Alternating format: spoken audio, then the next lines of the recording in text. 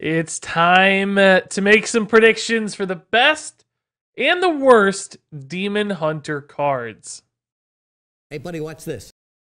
That's right. In this video, I'm going to show you the five Demon Hunter cards I think will be the weakest available to the class currently from both the basic Initiate and uh, Ashes of Outland sets, but also the five I think will be the strongest, the standouts, the ones that are really going to help define the class, which I think is going to be a very meta relevant class. So these will probably be some of the most played cards in all of Hearthstone. That said, before we jump into it, let's take a look at our sponsor for this video. If you haven't played Shadowverse, it's a favorite here among the Regis Killbin community, and it has a brand new card set you're not going to want to miss. It's World Uprooted. It introduces 97 total new cards, two new leader cards, and it's out right now. If you check out Shadowverse right now, you get 10 Worlds Uprooted card pack tickets for a limited time, so don't miss out. There's a link in the description below to learn more about Shadowverse. If you check it out, it helps me, but I also think you'll really enjoy it. Yeah, sounds like Shadowverse has some strong new cards, but for now, we're going to take a look at the worst cards for Demon Hunter. Starting off with Warglaives of Azzinoth, although in no particular order, the most iconic set of Warcraft weapons ever, maybe, with Warglaives of Azzinoth. Illidan's own Warglaives, and they're going to be one of the five worst in all of the Demon Hunter available cards right now. Yeah, I think so, actually.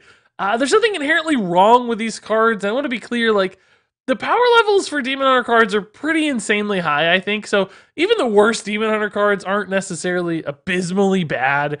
Uh, these could be tossed in a deck and it wouldn't hurt you. They'd be like solid arena cards, etc. But the problem with Warglaives really is just that I think Demon Hunter is going to have better things to do. They like attacking, obviously, but the cards that kind of support and synergize with that are going to be better in the early game for a more aggressive, faster decks, as opposed to in the mid game as like minion removal decks so this just doesn't really fit into that package all that well. So even triggering three or four times in a turn, I don't know if it really makes sense because Demon Hunter is just going to be doing better, faster, crazier things than this.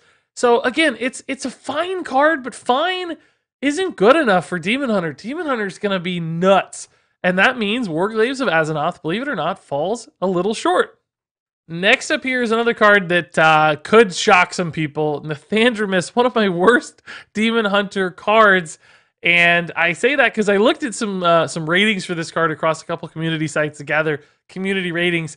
It's getting like 4.6, 4.7. People seem to really like this one, but I can tell you already from experience getting to play this a little bit in the theory crafting streams, it just felt so bad to top deck. This is like the worst card to draw off the top of your deck because this upgrade only happens while Nethrandamus is in hand. So yes, if you were to hit this early in the game, and you know kill things up to turn nine, then sure, this would be a great turn nine play, comparable in some cases to something like Dragon Queen Alexstrasza.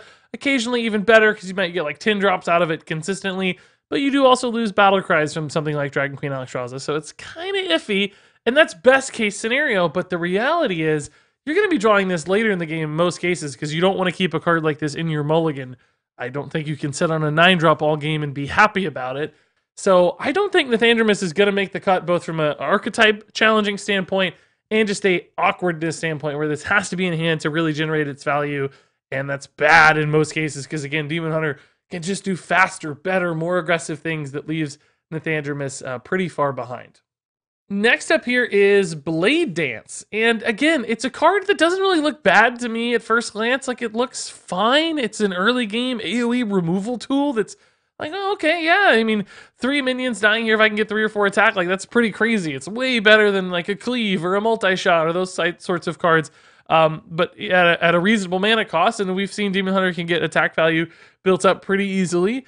Uh, but nonetheless, I think Demon Hunter can do better things, and there is still this random element here with Blade Dance where the board kind of has to line up the right way for this one to work out well. And you have to commit quite a bit of attack value as well for Blade Dance. So essentially, uh, there's some friction to using this and finding the right moment where it's going to work perfectly. There's commitment to using it, which means you may not really want to commit that attack value. You might just be able to do more with it. Beyond that, I think Demon Hunter is going to be ahead a lot. I think Demon Hunter is going to be playing um, from an advantage. And um, that means you may not really need a card like this. You might just want things that help you cement that advantage more, create more pressure, put more minions in play. It's just not going to stand out in the, you know, enormous uh, options that Demon Hunters have to play good cards. I think Blade Dance just kind of falls um, to the wayside here. So now we got Fel Summoner here, a support card for Big Demon Demon Hunter, which I did play a fair bit of and felt good, but I didn't even end up running this card because it looked too awkward and it felt like it was just going to be too slow. There was already enough happening and enough kind of engines and fuel for our deck to get things going in a compelling way. Because I think just committing six mana to a minion like this is uh, awkward and a little slow. Now, it is a high friction card. It's like your opponent kind of has to deal with this or they take eight to the face. And if they deal with it, then of course they risk summoning a big demon. But in a lot of cases, um, you're not cheating this out any faster than you know what's already possible with Demon Hunter. We were cheating out big demons on turn six anyway, thanks to our discount card. So it would have felt weird to play this instead when I could just get the big demon right off the bat. Uh, beyond that, uh, it, it's kind of passive. You're giving your opponent the option to, you know, maybe save a resource, like kill this very easily with a 3-3, and then Shadow Word: Death your big demon. So you're getting less guaranteed value from that, like, end of turn effect from um, your big pit commander, for instance. So all in all, uh, it's just one of those cards that you're committing a lot, and it's not guaranteed. It's kind of iffy. Um, it's still a lot of mana, and you take resources from hand as opposed to pulling them from your deck. So you actually check your resources a little bit too, as opposed to uh, filtering through your deck even faster. So all in all, Fel Summoner just has a few challenges that I think um, make it a weak card in an archetype that probably won't even be the archetype that really stands out for Demon Hunter. So it's kind of a weak card and a weak archetype, which means it's probably not going to see any play.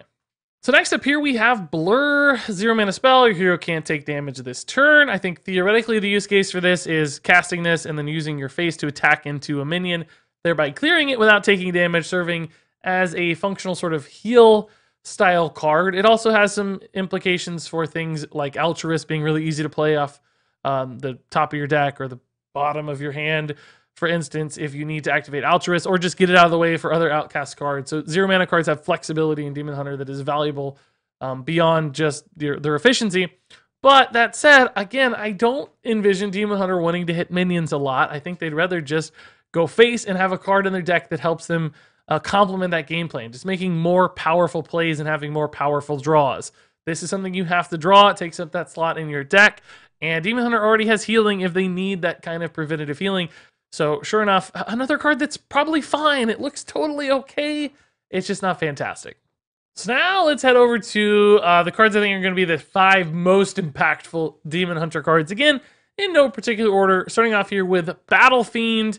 Uh, this card's just bonkers. One mana tutus historically have already been good in Hearthstone. Even recently, Blazing Battle Mage seeing lots of play. This is a one mana tutu with a lot of upside in that it can gain additional attack. I had that opener happen where a Demon Hunter Battle Fiend coin Battle Fiend attack on turn two, and it's just like, what do you do? It's so much pressure. It's so much damage. It's the aggro dream, which it seems like Demon Hunter is already going to excel at and support really, really nicely. So this is the one attack card that's really good. But again, like I said earlier with the Warglaives of Azzinoth, this is good for attacks on like turn two, turn three. Uh, you don't want to be playing a Warglaive of Azzinoth to support a Battle Fiend. There's too big of a gap. So that's why I think a card like that's weak, but a card like this is absolutely amazing, perfect for Demon Hunter, and um, one of the strongest one drops I think we've really ever seen. And the next up here we have Skull of Gul'dan, five mana spell, draws you three cards at a base level. That's not especially exciting. It's uh, fine, below average, maybe I'd say. But Outcast, you reduce the cost of those cards by three.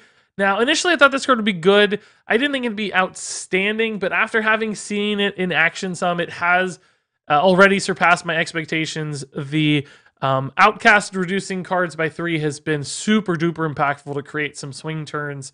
Uh, it turns out if you have very powerful, you know, two, three mana style cards, which Demon Hunters can run a lot of. It can create some great moments uh, where you play like three three drops on turn five. That's way above average cost, right? You're kind of cheating out a lot of stuff. I thought this would be something you set up more for like later game swings. You get big cards discounted. Turns out having that cheap fodder, including outcast cards, which you can chain really nicely off of Skull of Gul'dan, created some big moments, some game winning kind of plays, and some really powerful uh, mid game swings. So even I think it's fine on big stuff, but it's really, really good on that smaller to medium sized stuff. And that's what made Skull of Gul'dan feel so impactful to me. So yeah, I think a lot of Demon Hunter are going to be able to run this as a successful reload. Great top deck. It's actually fine if it sits in your hand early because you can kind of play it to the left hand for Outcast. So all in all, this card uh, looks like it's going to be a, a great reload and sort of mid-game engine for Demon Hunters. Moving on here to Kayn Sunfury. Of course, I think everybody when they saw this card reacted like crazy, like, oh my god, your mind is blown, what's going on? And uh, I will say, I've myself pulled back on that a little bit after having seen it in action. I don't think this is like absolutely insane anymore, but I do still think this is going to be a card most Demon Hunter decks run. It's not going to be the most important card, the most game winning card, or most celebrated card, uh, but it's going to be an important piece of the puzzle for Demon Hunter. So I still think it, it deserves a spot here in the top five. The reason for that is because at its base level, first off, a 3 5 charge is pretty good. We see like Kor'kron Elite getting played in faster warrior decks as a 4 3. Very similar attack value, but a higher health value makes it awkward if you want to play this on curve. Totally fine minion to play on curve. But it's also got that like Ironbeak Owl slash Spellbreaker thing where if you need to end the game through taunt, this allows you to do that, particularly across multiple taunts. So, you know, Kor'kron Elite and Spellbreaker, both four mana, four threes. This kind of does both at once. Those were both very played cards. Now, I know there are already comments, but Regis, this doesn't silence minions. I know it's not a silence uh, in that you care about stats, but for an aggressive deck that's just looking to go phase, you don't care about silencing some big mech or whatever that's been buffed a ton. You just care about getting through taunts and pushing pressure, and Kayn allows you to do that still. So it's a functional silence and the style of silences we've seen in the past in these kinds of decks. And because of that, I think it offers a lot of utility. Extra damage while silencing, that's perfect, and it's exactly why Kayn is still going to be a very, very important card for Demon Hunters. So next up here is Altruist the Outcast. Of course, you knew he was coming. Three mana, three two, but I love this effect for Altruist. After you play the left or rightmost card in your hand, deal one damage to all enemies. I was surprised just how often that lined up really, really well. I guess maybe not that surprised because I thought this card was going to be awesome, but it really did work. And not only did it do work on like flipping boards and um, giving you a nice little early game or mid game board advantage, it does face damage. It's all enemies, so it really helps chip down the opponent's health total, which is very, very important for demon hunters because I think they're going to again be quite aggressive. So that two in one utility for Altruist really made it stand out for me, makes it feel strong. I used it to secure lethals, I used it to clear boards, and it was not super hard to activate this condition. Yes, once or twice it failed, but in most cases you can find a great turn for this thing to make an impact, line up really nicely, and either win you the game or set up to win the game. And then finally here on my list is Metamorphosis. I think this is a spell that looks um, awkward at first glance. You're like, man, what? I'm swapping my hero power to deal five damage. That sounds really expensive for five mana. We've had a lot of other failed like hero power swap style cards in Hearthstone's past as well. Uh, but Metamorphosis is actually amazing so far in practice from what I've seen. Getting that Pyroblast basically for a total of seven mana here has felt really, really good. Sometimes you just need that extra little bit of reach to get you over the top, to kill your opponent. This creates all kinds of moments where it's like, oh, I know they have metamorphosis. I have to do something either really dumb, really bad, or I'm just hopeless at countering it. And that creates some great moments for the Demon Hunter. So if you have to use this to clear minions, you can. It's a nice um, in a pinch future removal tool, but sometimes it's also just that Pyroblast face over two turns, which helps you get there. I've used it both ways successfully and saw lots of people use it against me the very same way. I think it's really important that sometimes you just have kind of spare mana to bank. Like you got three or four spare mana, you got five mana to drop a metamorphosis. You're not giving up all that much because you just have that mana flex anyway. And then it makes this incredibly cheap, high tempo uh, tool later because that one mana hero power dealing five is just ridiculous on future turns. So you invest now for this huge payoff later, game winning damage, whatever it is. Metamorphosis provides that opportunity, and I think it's going to be a, de- a card that most Demon Hunter decks find an excuse to run.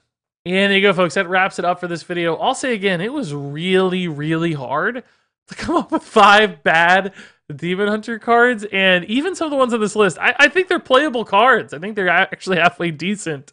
Um, so forgive me if you like the cards here that I ranked as the worst. Something has to be at the bottom, and it turns out Demon Hunter has some good cards, so it's hard to define and uh, find that bottom. Uh, that said, I'm curious what you think the five worst Demon Hunter cards are going to be. There were certainly a few others I thought about including, but maybe I didn't have as good of a talking point or saw some weird angle where those could work out. So I imagine a lot of the ones you recommend will be the same I do. And of course, I left off tons of great cards. Uh, I mean, there were five or six, seven, eight cards that are just amazing that I couldn't put in the top five. So uh, please share those as well. I mean, this is never going to feel like a conclusive list. A lot of it comes down to you know opinion. All that said, though, big shout out to our sponsor Shadowverse for this video. Uh, wouldn't be possible without it. Shout out to you guys uh, for being understanding about the choices in this video. Thanks so much for watching, and until next time, game on.